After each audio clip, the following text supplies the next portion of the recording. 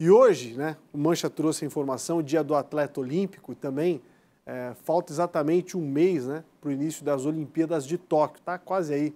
A nossa equipe foi conversar com duas atletas de Floripa que contaram como é que está a rotina de preparação para o maior evento esportivo do mundo. A competição pela vaga olímpica começou cedo para os atletas que sonham com o pódio no Japão. Entre os estreantes e os mais experientes, uma coisa é certa: Representar a seleção é o reconhecimento de muito trabalho. Com 16 anos de dedicação ao remo, Josiane tem uma medalha de bronze no currículo, conquistada nos Jogos de 2008 na China. Ela compete na categoria PR2 para pessoas com deficiência e mobilidade reduzida nas pernas e está confiante para a participação na sua quarta Olimpíada. Eu sou campeã brasileira absoluta desde 2006, desde que comecei. E então são 16 anos, né, vencendo o Campeonato Brasileiro. Tenho ainda hoje a joia do remo do Brasil, que é a, a medalha paralímpica conquistada em Pequim em 2008 com o Elton Santana da Bahia.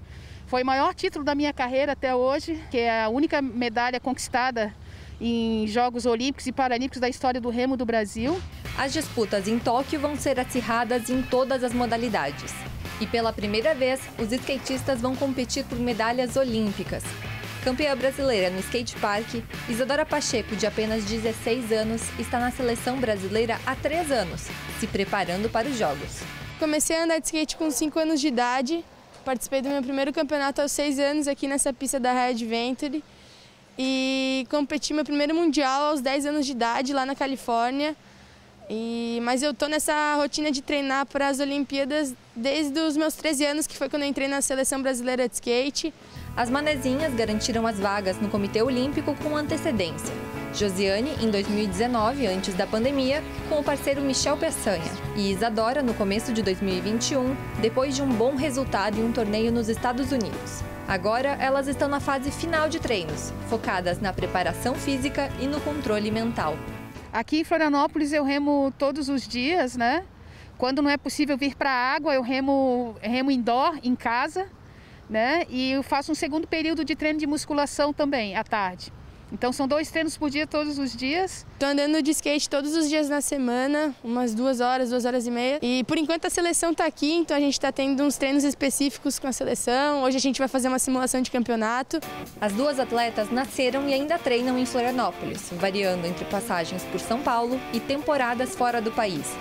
E foi na ilha de Santa Catarina que Josiane recebeu incentivo da família e criou intimidade com o mar e os barcos. Eu sou filha de pescador, né, lá do Sambaqui, então eu me criei na, na praia, né, por isso que eu, depois de muito tempo que eu percebi que eu era realmente um talento, as pessoas falavam, mas eu não me reconhecia como um talento, porque para mim era muito mais fácil, já era um, um ambiente familiar o mar para mim. Para Isadora, foi amor à primeira vista e ao primeiro skate.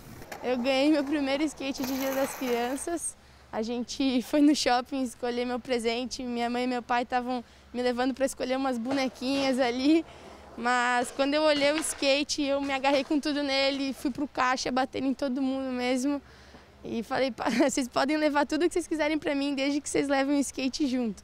Desafiando a gravidade e as marés, as atletas estão determinadas a alcançar seus melhores resultados nas Olimpíadas.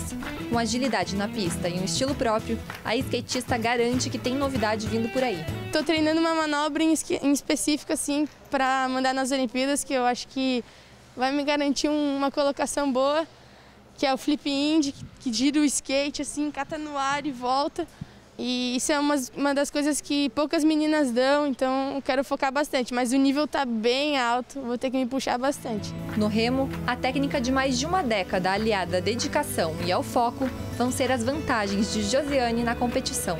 E a gente está, claro, perseguindo o tempo que a gente vê que tem condição de estar tá brigando na medalha. A gente está ali no, brigando pelo pódio, mesmo pelas nossas referências que a gente tem agora. E vai ser um orgulho maior ainda tra trazendo uma medalha de lá. Meu Deus, vai ser assim a, a coroação de uma carreira super vitoriosa, uma carreira linda que eu fiz.